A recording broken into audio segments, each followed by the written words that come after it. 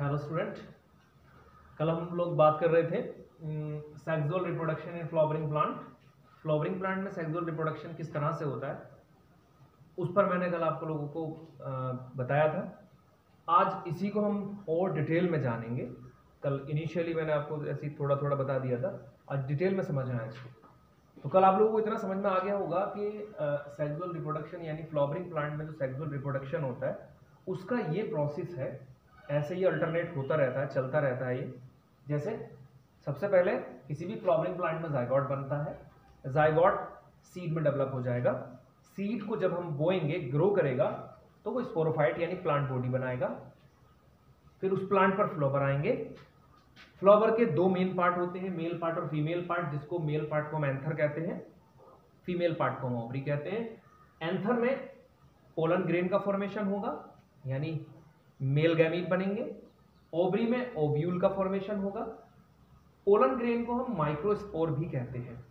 Pollen grain को microspores कहा जाता है। माइक्रोस्पोर्स इसलिए कहते हैं क्योंकि इनका साइज़ बहुत कम होता है। ओव्यूल से मेगा स्पोर्स का फॉर्मेशन होता है। यानी ओव्यूल्स होते हैं, वो मेगा स्पोर्स को बनाते हैं।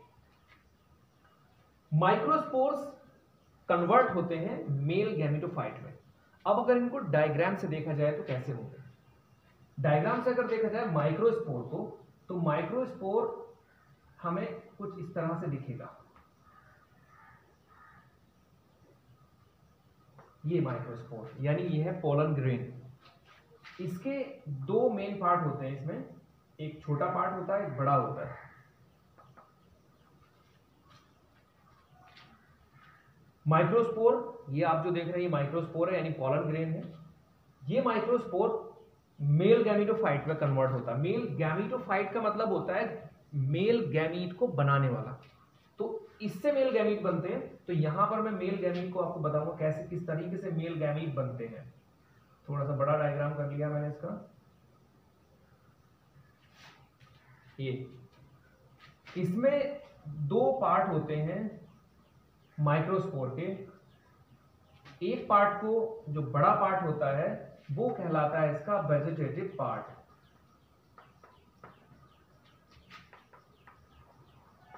वेजिटेटिव पार्ट यानी पोलन ग्रेन है पोलन ग्रेन की स्ट्रक्चर भी अगर एग्ज़ाम में बनाने को आएगी तो आपको ऐसी बनानी है. और जो दूसरा स्मॉल पार्ट होता है इसका, वो कहलाता है इसका जनरेटिव पार्ट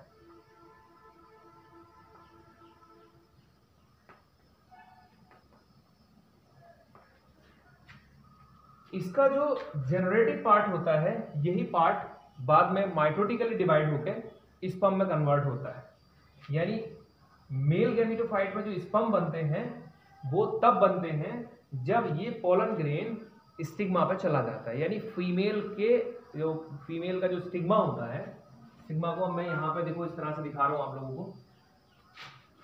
यहाँ देख लीजिएगा ऐसे, ये।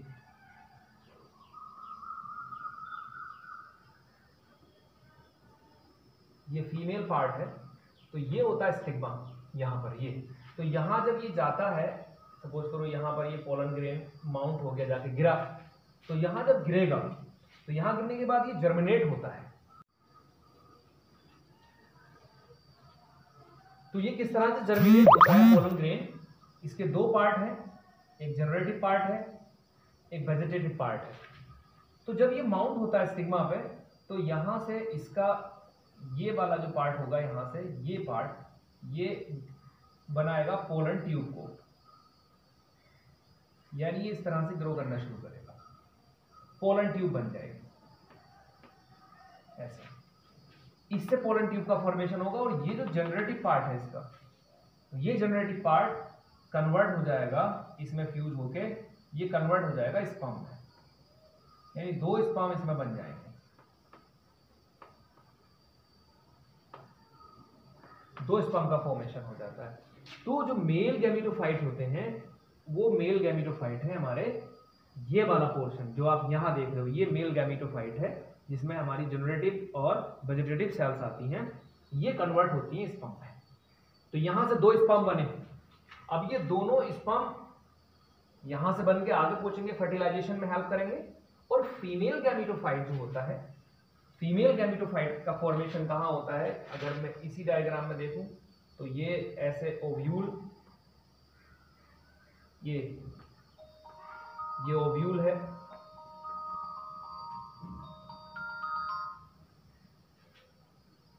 इस ओव्यूल के अंदर यहाँ,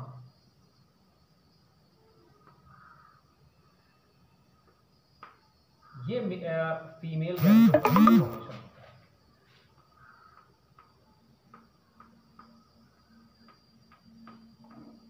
ये फीमेल गैमेटोफाइट इस फीमेल गैमेटोफाइट में एट न्यूक्लियस होते हैं। One two three four five six seven और सेवन सेल होते हैं। इसको हम एम्ब्रॉय सैक कहते हैं। एम्ब्रॉय सैक ये एम्ब्रॉय सैक होता है। ये एम्ब्रॉय सैक जो होता है, ये फीमेल गैमेटोफाइट फीमेल गैमेटोफाइट से फीमेल गैमीट बनते हैं। फीमेल गैमीट में ये वाला जो है, ये फीमेल गैमीट है, जिसको हम बोल रहे हैं एग सेल।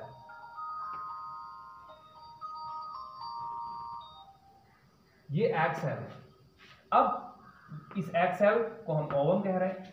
ये वाला एक्सेल और ये जो स्पर्म यहाँ से बन के आ रहे हैं, ये फ्यूज होते हैं। इस प्रोसेस को हम फर्टिलाइजेशन कहते हैं। फर्टिलाइजेशन के बाद जायगॉट बनता है, फिर ये प्रोसेस चलती है। तो इस तरह से फ्लोवरिंग प्लांट में सेक्सुअल रिप्रोडक्शन होता है।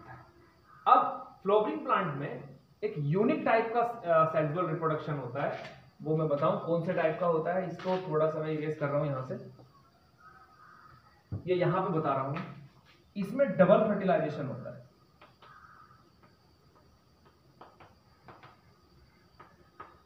डबल फर्टिलाइजेशन होगा। डबल फर्टिलाइजेशन से मतलब है कि यहाँ से जो दो स्पम बने हैं, ये दो स्पम ये दो बार फर्टिलाइजेशन की प्रोसेस करते हैं। पहली बार में क्या होगा?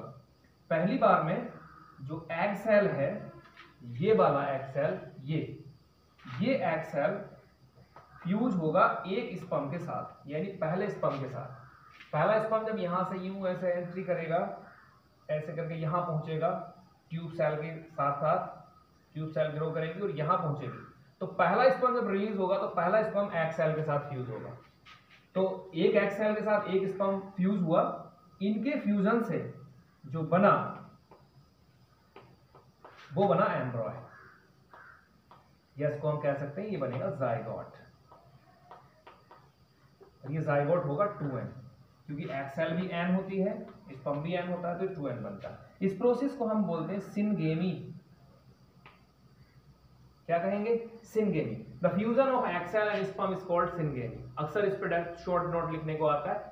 सिनगेमी पे। तो आपको याद रखना है। The fusion of egg cell and sperm is called syngamy after syngamy formation of zygote will be occurs यानी जायगोट का फॉर्मेशन होता है। तो पहला डबल फर्टिलाइजेशन यानी दो बार होना है तो पहली कंडीशन में ये प्रोसेस देखने को मिलता है। दूसरी बार फिर क्या होगा?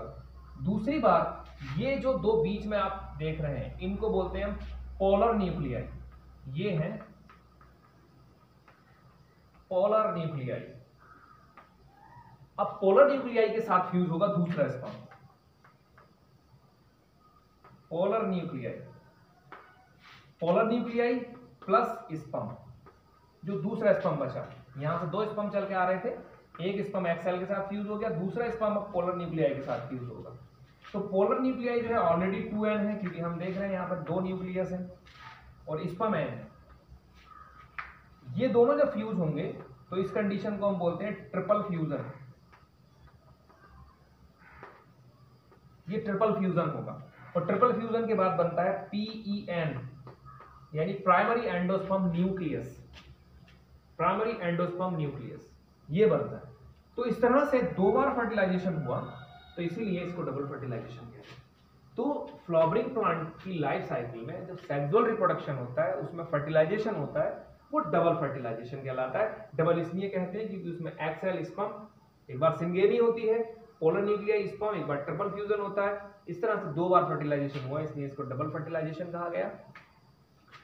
इसको अगर किसी को दिक्कत हो तो मुझे कॉल करके पूछ सकते हैं। अगर किसी को कोई परेशानी इसमें आ रही हो, समझ में नहीं आया हो। अदरवाइज़ मैं आपको इसके नोट्स प्रोवाइड करा दूँगा। इस पूरे को आप अच्छे से वीडियो को देखें, समझें। उसके बाद फिर आप नोट्स को करेंगे। ओके